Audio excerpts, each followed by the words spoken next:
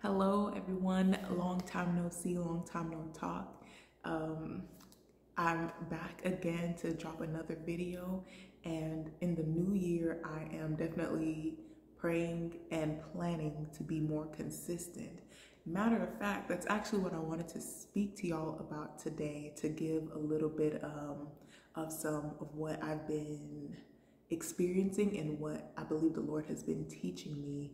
Um, so I don't want to prolong this too long. I just want to speak, you know, mostly to my young ladies. I'm trying to develop my um, my target audience, and I feel for like what I'm pushing, what I'm um, working towards, or what I have in mind, or what's on my heart is to work with young ladies like about 11 to 17 or 8 to I, I like young, not you know 18 and up or anything like that, but like the, the young, the babies. I know y'all aren't babies, but just younger, you know, especially at, the adolescent stage and preteen and th different things like that. But anyway, I first wanted to, um, I want to give an anchor scripture for today, and it's going to come out of Jeremiah 1 and 12. And I have it written out on my little note card, note card because I'm trying to better my Bible memorization.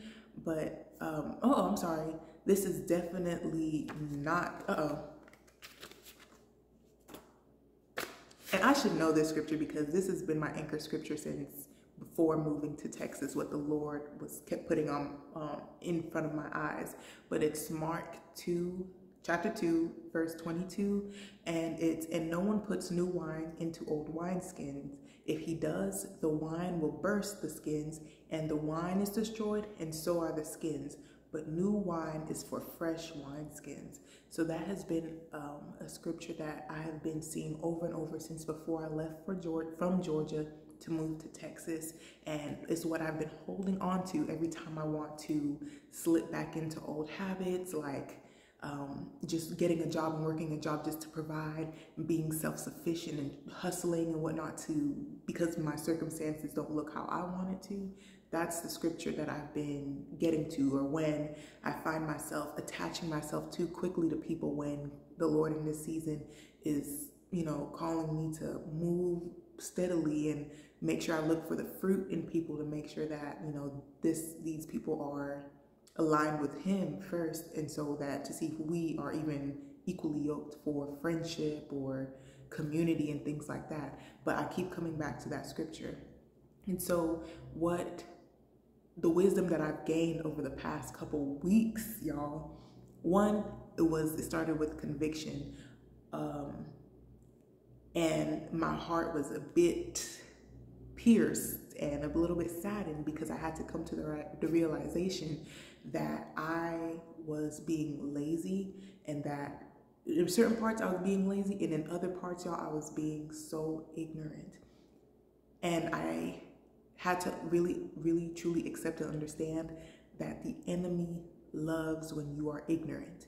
And ignorant the the definition is that being unaware of things being unaware. And the Bible speaks in Proverbs, in different places about knowledge and about wisdom and about gaining understanding and gaining wisdom, gaining knowledge and things like that. So we know that the Lord wants us, and the Lord also instructs us in the Bible to seek to ask, to, you know, search for things and whatnot, to knock on the door and it'll be open. So we know that the Lord wants to reveal things to his children and wants us to be in knowledge and wants us to have wisdom um, and not to move in ignorance and not to be like, oh, whatever, it's okay, it's just whatever. And I came to the conclusion that that's what I was doing. I was moving in ignorance and just going on with life and just accepting the what the foundation that was built in my life when it came to the Lord. I was just staying right there instead of trying to grow higher because growing higher means that you have to put in a, a, a, bit more work, you know, to whom much is given, much is required. So if you want to go higher, more is going to be asked or demanded of you. So it's going to require you to do a little bit more work.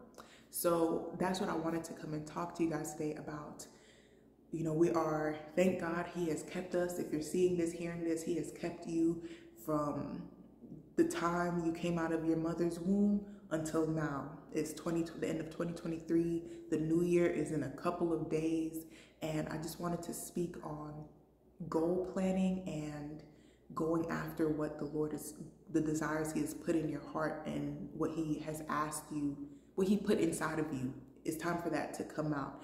And he gives us the desire. He'll plan out your footsteps, but what's the point if you're not actually picking up your foot to walk.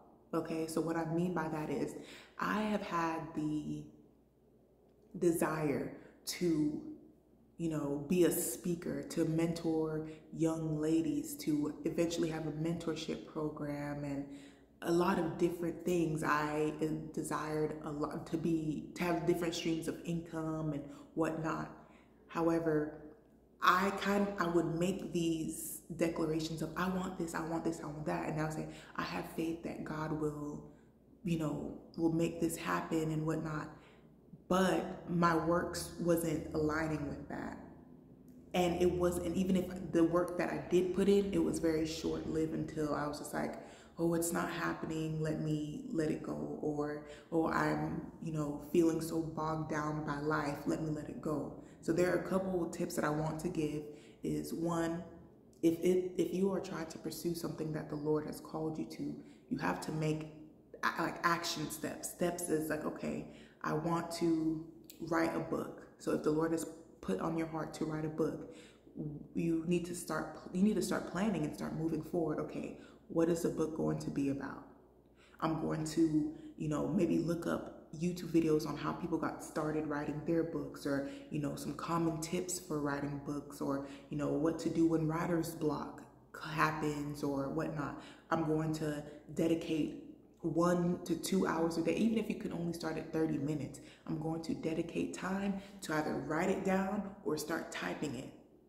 And maybe, you know, you'll start typing it and you won't be very, very, it won't be very punctuated and, you know, super um, what's the word? Like edited or anything. Maybe you're just typing typing typing and you know you'll go back later and you'll edit and different things like that. But to get the ball started you know you inquire about certain things. Maybe the local library has a book writing class or uh, a fictional fiction writing class or something like that. Excuse my little ashiness y'all.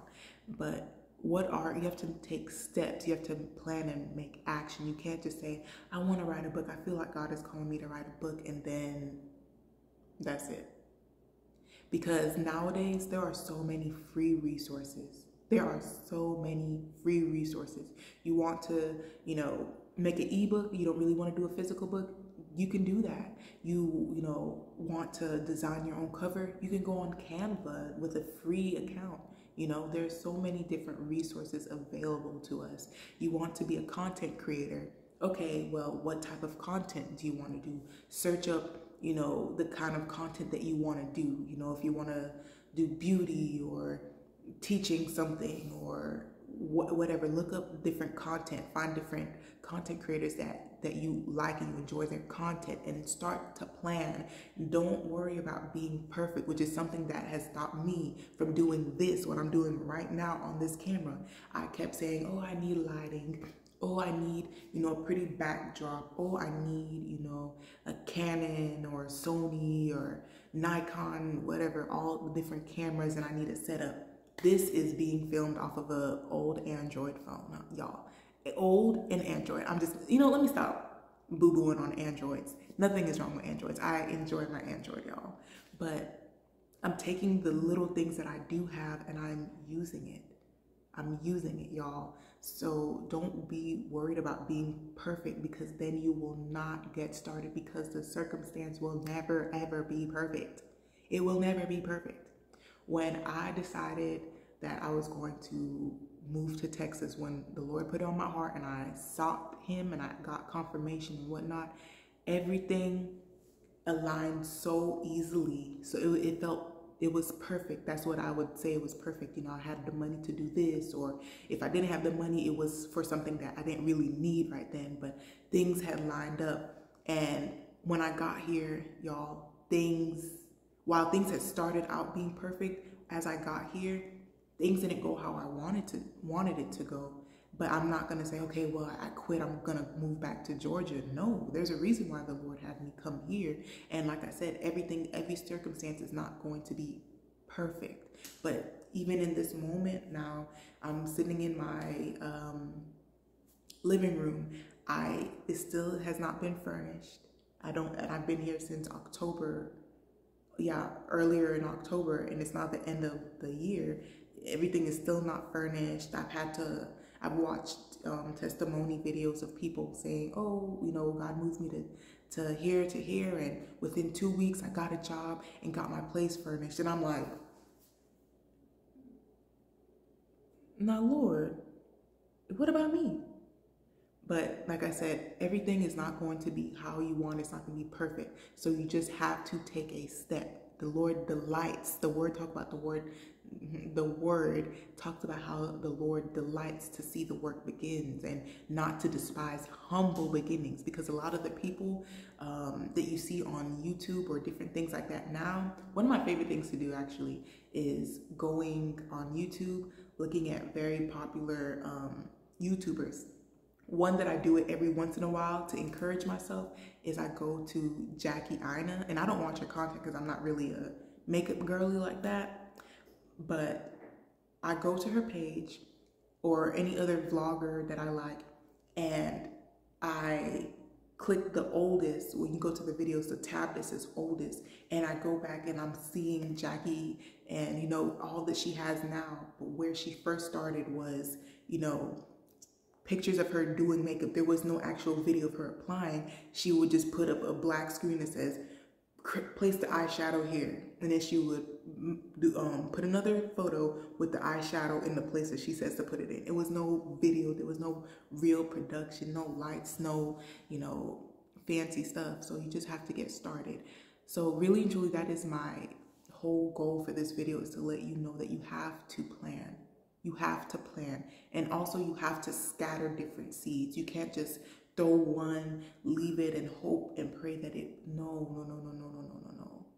No, it doesn't work like that. And I hope I don't sound mean, but this is to myself as well. For all the years that I've spent, you know, tossing something out and hoping and praying that it sticks, it lands, it works, it grows, it blooms, and wasting time. I don't want that for you one thing I will say, because um, this year for me hasn't been like a total waste or anything, but one thing that was very big for me was losing weight because I did not want to lose my life to diseases, chronic illnesses, anything like that, heart attacks, and I didn't want to do that. And also for aesthetic reasons, I wanted to feel beautiful. I wanted to feel, I wanted to feel confident in my body. So last year I invested in a personal trainer and he was inexpensive for um, in comparison to other trainers that I saw and it wasn't easy. I didn't have all the workout, the cute workout gear. I didn't have the, you know, Oxy Shreds. Well, I, I started buying it, but I didn't have it at first. I didn't have the, I, I was going in there looking busted, looking busted. And I started, when I started with him, I was about 270 something pounds. I'm a tall girl, by the way, so don't judge me, please. I was like 271 pounds. And now I had worked with him from fall of 2022 and uh, up until basically I left to come to here. So a little bit over a year. Um, and y'all, I invested in that. I prayed and asked God to change my taste buds to help me, you know, love fitness. And I began to love going to his classes. I loved going to his classes. Like if somebody was like, "Hey, can you stay late? Um, somebody didn't come in for work. Uh, sorry, I'm, I'm I gotta go work out." Like I was not playing around.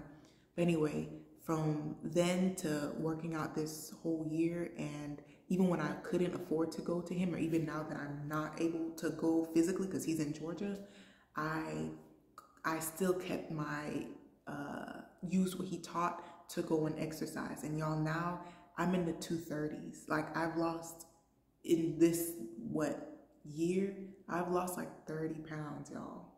30-ish, 30 and some pounds. But yeah, It's because I put in the work and I said, okay, I want this. And I actually put in the work. Even when there were times when I was like, I'm not losing any weight. There was a time when I went up in weight and I was like, this is not, this is not it. And that was after me, six, seven months of me working out with him. But uh, I stuck with it.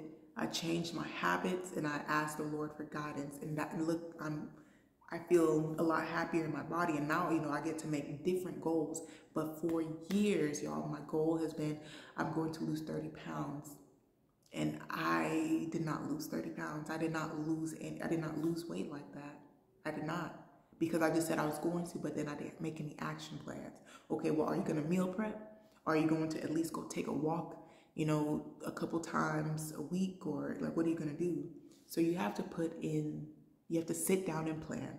So before the year is done, before the year is done, I pray this reach, reaches whoever it needs to. Sit down, pray first, ask the Lord for guidance, thank Him for this year, and ask Him what does He desire of you for the next year, and then plan out the things that He told you to do this year that you didn't do, and the things that He's telling you to do, and sit and make a plan. Make it your personal mission before you talk about, you know, buying your your house if they, unless that's what he has for you before you talk about you know doing all sorts of things that is just based on what you want your desires see what he desires first and seek his kingdom first is what the word says. Seek his kingdom first. Seek first the kingdom. See what he wants you to do first and make it your mission make it your goal to accomplish it this coming year. So that's really all I had. I will talk to y'all later. And like I said, I'm trying to become more consistent because this is something I've been wanting to do forever and it's been put on my heart for the longest time. And so I don't want to, you know, I don't want to falter on that. I don't want to go back on that. But anyway, I love y'all and I pray y'all have a um, great rest of your week and happy New Year's. God bless us. But yeah, anyway, bye.